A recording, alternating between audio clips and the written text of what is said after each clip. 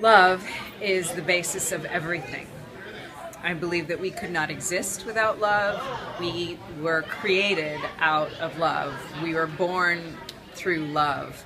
We die through love. I,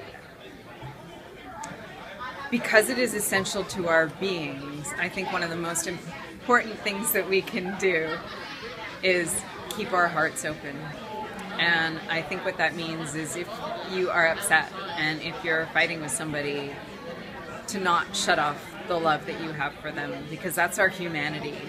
And we need to hear each other, we need to empathize with each other, and really support each other. And we are a family. The entire world is one family connected by love.